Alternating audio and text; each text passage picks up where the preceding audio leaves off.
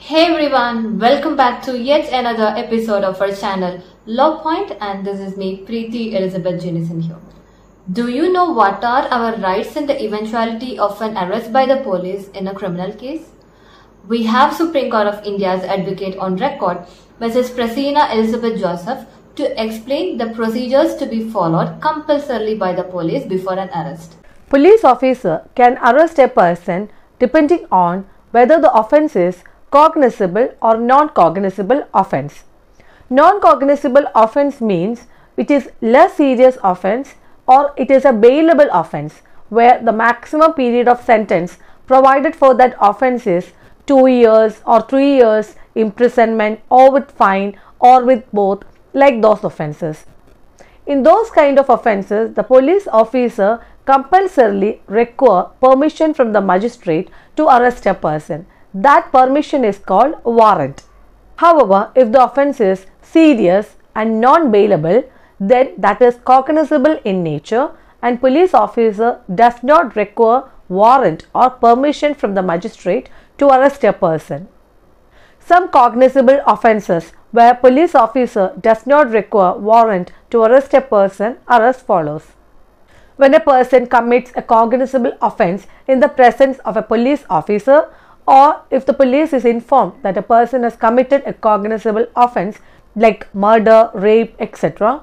A person who is proclaimed as an offender by the court or by the state government then if that person is found anywhere then the police can arrest that person without the permission of the magistrate. If a person is found to be in possession of stolen property or if a person obstructs a police officer in execution of his duty or if a person has escaped from the custody or if a person has committed a criminal offence outside India which if he had done in India would have been a punishable offence. For example, a person is doing drug business outside India which if he had done in India would have been a punishable offence. Then that person can also be arrested without the permission of the magistrate. Then if a person has left armed forces without the permission of the authority, then if he is found anywhere, he can also be arrested without the permission of the magistrate. Now let's see why the police officer arrests a person even before he is held guilty by a court of law. This is basically for the following reasons. To properly question the person and to investigate the offence, to prevent that person from committing any further offence, to prevent him from influencing the witness or tampering with evidence, to ensure that he does not abscond and he can be produced in the court at the time of his trial. Now let's see the code of conduct to be followed by a police officer while arresting a person. The police officer should be in police uniform with his name and designation clear and visible to the person concerned. The police officer can arrest a person by either touching him or by handcuffing him up to his discretion. However, if a person attempt to evade arrest, then the police can use force to arrest that person.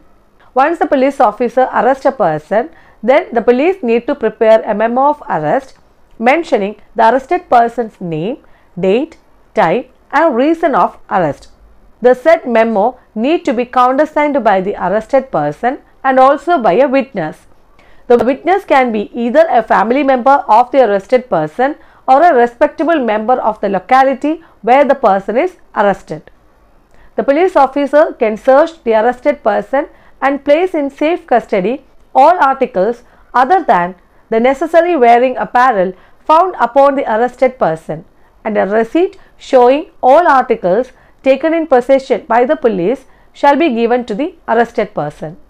If memo of arrest is countersigned only by the respectable member of the locality and the arrested person's friend or relative is not aware of the arrest, then the police officer need to inform the friend or relative of the arrested person about the arrest within 8 to 12 hours of the arrest.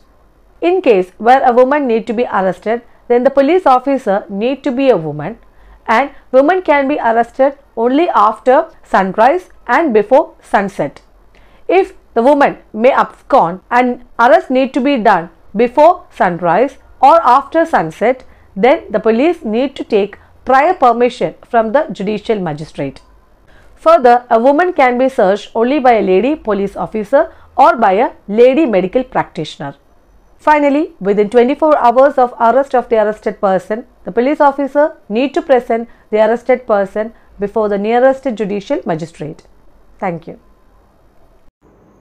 Thank you so much for watching our video. Stay tuned for more videos.